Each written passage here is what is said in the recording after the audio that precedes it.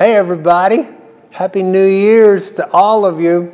I know it's New Year's Eve day today, and uh, I know this is a time of year where we're all thinking about the new year that's coming, and uh, more than likely thinking about uh, new year, new me. Uh, maybe I'm going to do new exercise routine or new diet or new Bible reading program or any kind of thing. Uh, and the thing about most New Year's resolutions is they don't really last very long. And uh, I consider myself to be relatively self disciplined, but I, have started many things thinking this is my year for it. And uh, eventually fizzled out end of January, middle of February. So, uh, you know, this year uh, I don't really want to come at you from that vantage point like I'm we're going to do this or we're going to stop doing that. Uh, so instead of focusing on what we do or what we don't do, uh, I'm going to take a few minutes now and let's focus on how we actually look at things. And the title of my message is It's All in How You See It. It's all in how you see it. And so I've been teaching out of my book, Think River, Not Pie. Came out in September and uh, just teaching lessons out of it, life lessons that have helped me uh, in my journey on earth. And I want to read one of the chapters to you right now and talk about a few ideas about uh, how you view things and your perspective on life, your perspective on yourself and the world and God and uh, all the things. So, I wrote this down. You find what you're looking for, so make sure you're looking for the right things. If we're in a room and I ask you to look for brown things or blue things, you're going to find what you're looking for just because you're taking the time to notice them, just because you started looking for them, looking for something brown or looking for something blue. If you start looking for what's wrong in a situation or in a person, you're going to end up finding it. But if you'll start looking for what's right in a situation or what's right in a person, you'll find that as well. We all possess a thing called a reticular activating system. It's that idea uh, when you decide you want to buy a white Honda or a red Toyota, all of a sudden you start seeing them everywhere. And so uh, it's the way we're wired. Your brain and your ability to notice starts picking up on the things that you have decided you want to notice, the things that uh, you are actually looking for. So I just want to encourage you as you move into 2024, make sure you're looking for reasons and not excuses. Make sure you're looking for positive and not negative. Make sure you're looking for things to be grateful for rather than things that are wrong. Uh, make sure you're looking for the upside and not the downside. Uh, make sure you're looking for the way forward rather than why things can't go forward for you. Make sure you're look, looking for reasons to believe rather than reasons to doubt. You'll never live a positive life with a negative mindset. You'll never live a positive my, life with a negative viewpoint on life. So here's the way Jesus taught this concept. A couple passages. Uh, Matthew 6, verse 22, Jesus taught this The eye is the lamp of the body. If your eye is clear, if the way you see is clear, your whole body will be full of light. Uh, but if your eye is bad, your whole body will be full of darkness. And in a really telling statement, Jesus says, If the light that's in you is darkness, how great is that darkness?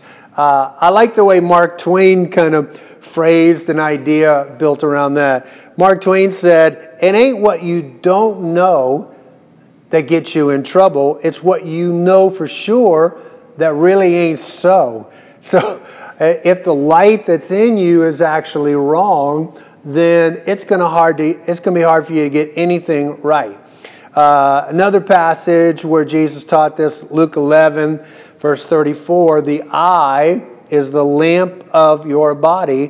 When your eye is clear, your whole body is full of light.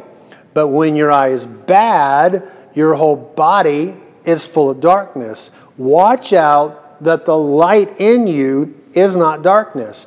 If therefore your whole body is full of light with no dark part in it, it will be wholly illumined, as when the lamp illumines you with its rays. So Jesus was teaching often about this concept a good eye or a bad eye. Your eye is how you see it, how you look at it. How, what is your vision? What is your perspective? What is your outlook? What is your paradigm? Uh, what is the lens you view things through? Uh, you know, there's a lot of different lenses that we can use to, to view things. I remember uh, several years ago, quite a few years ago, uh, I was talking with one of my office mates and uh, just picked up a pair of glasses that they had on the counter, put them on just for fun, and all of a sudden realized, wow, this is what seeing clearly really looks like. And so I put those glasses on, and all of a sudden I realized, oh my gosh, I need a new lens to view things from. I need a new way to be able to see things because then I'd be able to see. I didn't even know I wasn't seeing clearly until I actually put those glasses on. Um, and then uh, you know, sometimes we, we have the lens of sunglasses, right? It's bright outside. We put on our sunglasses, uh, and it helps us view things well. Some people wear sunglasses all the time. They wear them outside, they wear them inside. I think if you're wearing them inside all the time, you can end up tripping over something. So they work in a situation, they don't work in other situations. It's just a lens that you can view from. It's a lens you can put on, how you view things. Um, here's a little magnifying glass every once in a while now. Uh, this is my wife's magnifying glass. We got to pull this out to read small print, to read fine print. Need a little help to be able to see things. So, um, so the idea of what are the lens that you're looking through determines really how well you're going to see what you're going to see, what you're not going to be able to see. So if you don't have the right lens, who knows? I mean, you know, if the light that's in us is darkness, uh, we live a life full of uncertainty because we're not seeing clearly. Uh, we can live a life of insecurity or hesitation, maybe a life uh, full of fearfulness, uh, missing out on what is going on around us uh, maybe great people coming into our life, great things coming into our life, but the wrong lens, the wrong, the wrong view is going to make us miss it. And you know, you know what happens when you can't see clearly, you know, when you get up in the middle of the night and you go to the bathroom and you're coming back, you walk so slowly because you can't see. It's dark. And you need to be able to see to move forward. So there, there could be things that, that beautiful things that are right in front of us, but we can't see them if we don't have the right lens on. Uh, one of my statements that I've lived by for so long that has helped me is the idea is you don't see the world as it is, you see the world as you are. And my favorite illustration for that is, you know, three guys are walking up to a wheat field, and one of them is an artist, and he sees the beautiful picture and wants to paint a picture. One of them is a farmer, sees the wheat field and is calculating how many barrels of wheat, bushels of wheat, how much wheat can get harvested out of this. And then the other guy is a developer. It's like, let's wipe out this wheat field. Let's build an apartment complex. Let's build houses on this. So, three different people looking at the same thing, different lens, seeing it a whole different way. And what I've discovered too is we don't always see the world as it is, but as we are. But I think often we don't even see the Word of God as it is. We see the Word of God as we are. So we end up creating our own world based on how we see the world.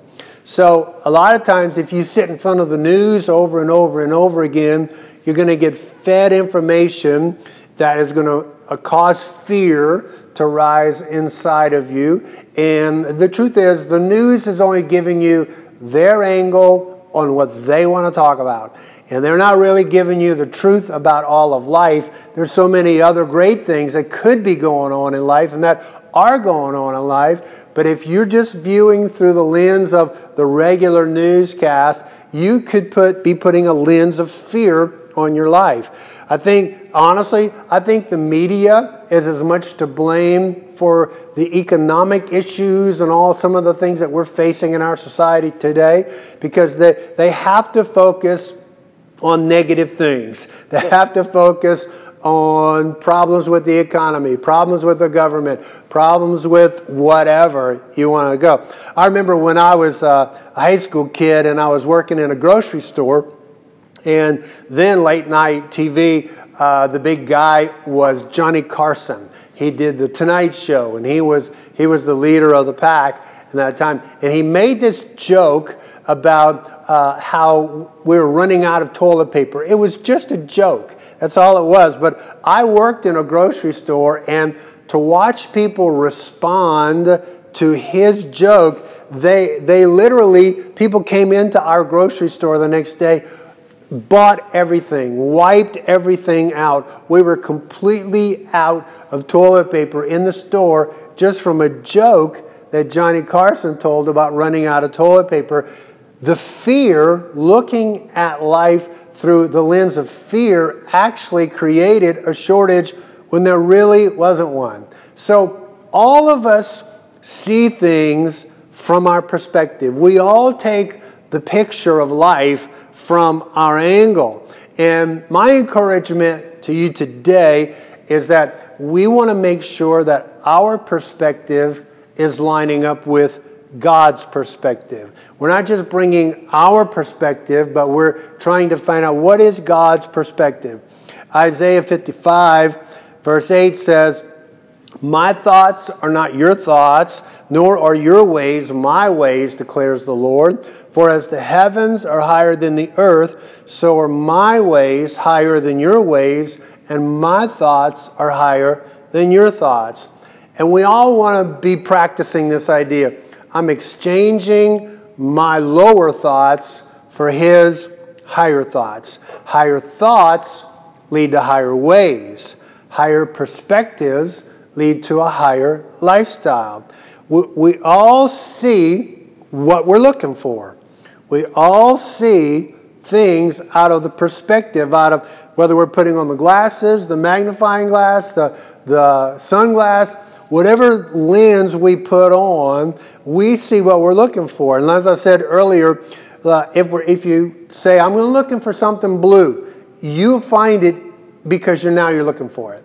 If I'm looking for something red, you'll find it because now you're looking for it. So if you're looking for admirable qualities in your spouse, uh, your kids, your friends, your church, your city, your work. If you're looking for the good things, you'll find the good things if you're looking for them.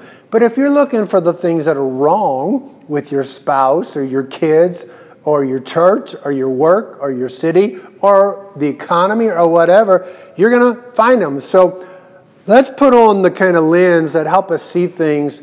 Let's put on the lens of abundance. Let's make sure we're looking through the eyes of abundance. Let's put on the lens of love where we are caring for people and wanting to love people and looking for ways to uh, bring love to people. Put on the lens of mercy toward people, not the lens of judgment.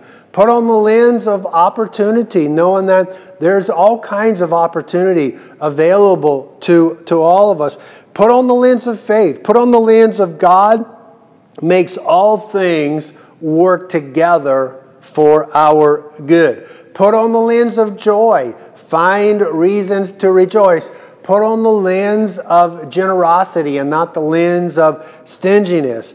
Because when we, when we see things the right way, in the way that God wants us to see them, our life is going to be so, so much better. But if our perspective is, is of lack, uh, it's of, if it's selfish, if our perspective is judgmental or fearful or guarded, then we are literally creating our world out of how we see it. Your eye, your perspective is, the Bible says, a lamp.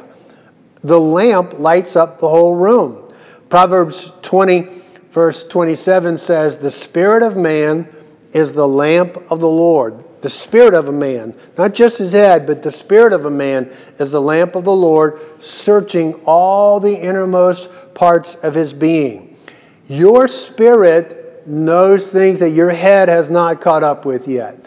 Your spirit knows things, senses things, anticipates things, catches on to things more than your head knows. And so your inner man has eyes to see that your natural man does not be able to see. We walk by faith, the Bible says, not by sight.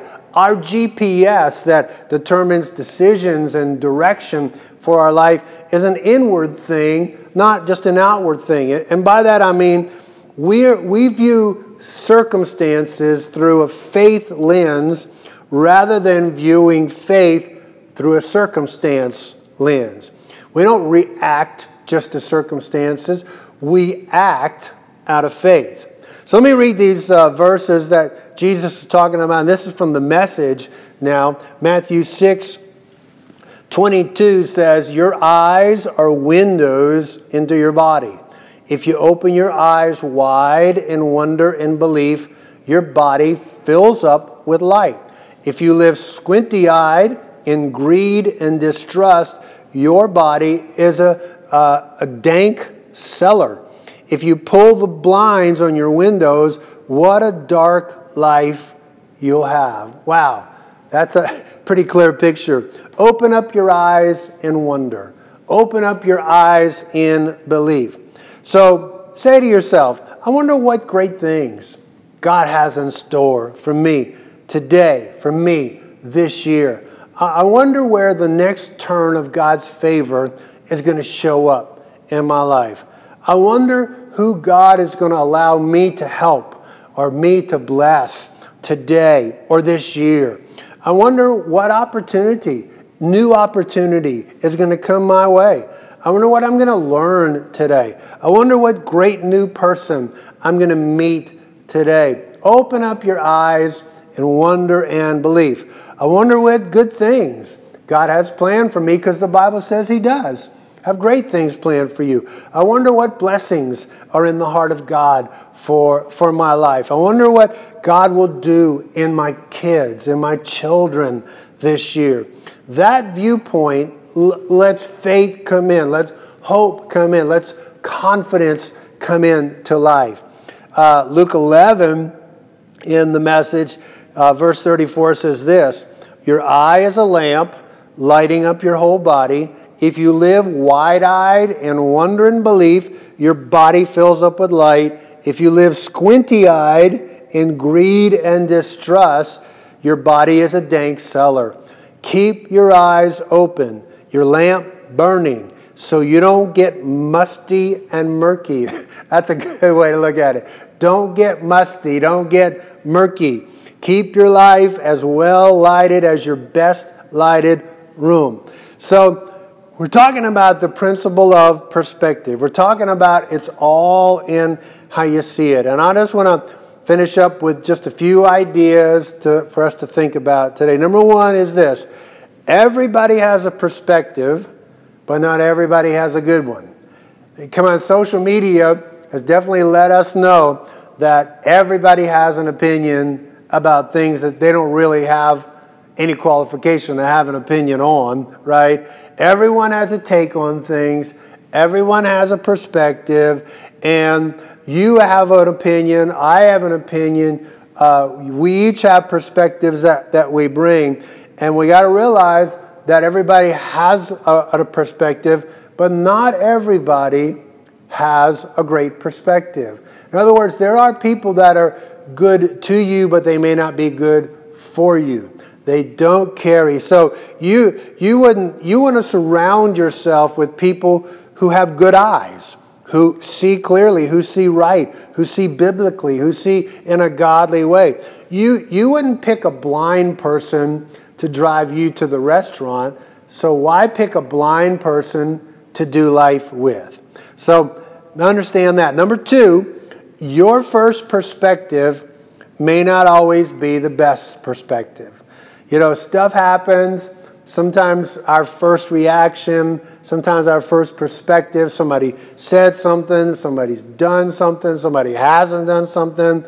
I remember one time I was driving in traffic right on Smoky Park Highway and I, I saw uh, a guy driving a pickup truck and a lady was trying to cross over and she kind of waved at him and just assumed that he was going to let her in. Well, he wasn't. And she came in front of him and he just drove into her. And I'm thinking, why ruin your day? I mean, just, just to be, you're not going to let her break in before you. Uh, sometimes you get cut off in traffic and you're, you know, whatever. You don't know what's going on.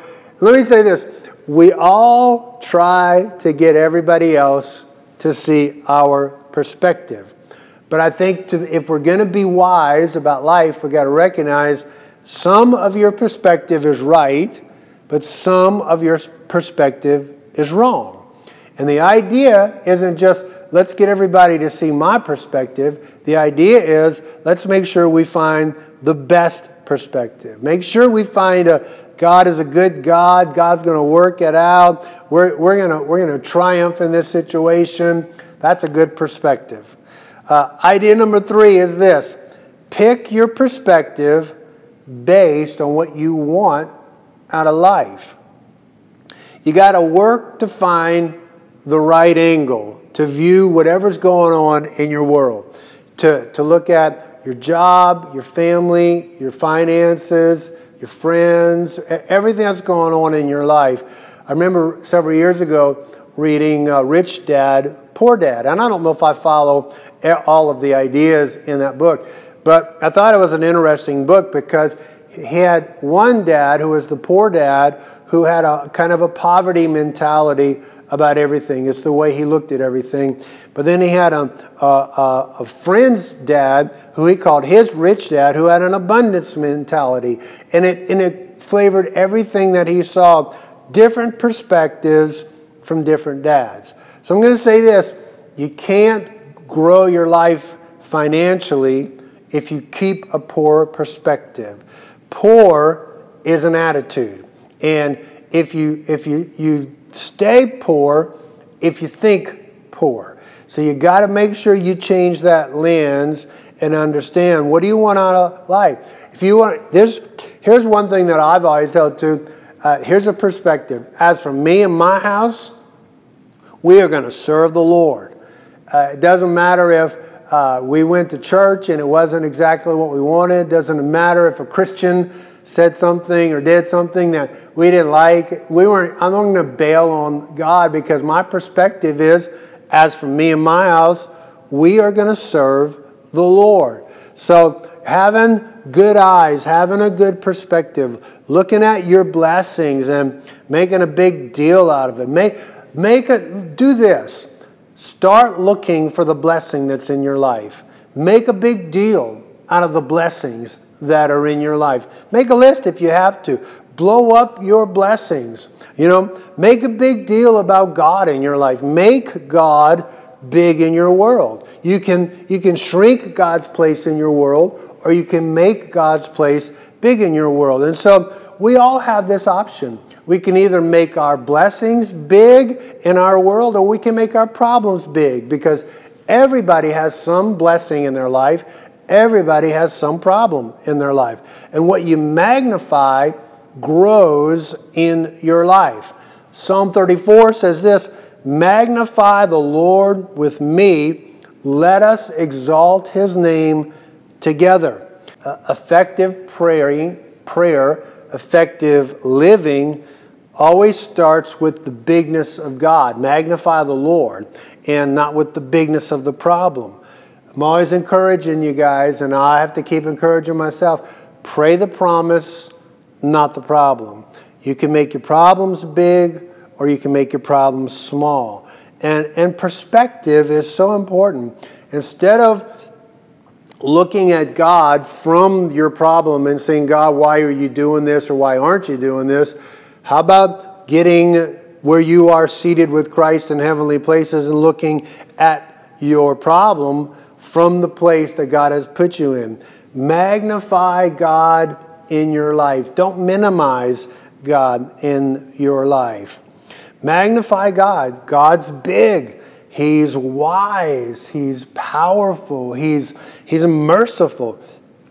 He's generous. He's loving. He's good. He's creative. He's a waymaker. Like, get focused and, and magnify the Lord in your life. When David encountered Goliath, everybody else saw Goliath as someone who was big, but David was the one who saw God as big. Psalm 69, verse 30 says this I will praise the name of God with song and magnify him with thanksgiving. Great perspective starts with thanksgiving. Thanksgiving is just stopping to locate the positives in your world. So magnify him with thanksgiving. And then the last idea that I want to give you it's all in how you see it is this always be willing to change your perspective. You got to anchor your values, but then you got to position your perspective uh, built out of the right kind of values. These, uh, these glasses right here are some of my earlier glasses that I used to wear years ago. The style doesn't fit me anymore and even the prescription doesn't fit me anymore.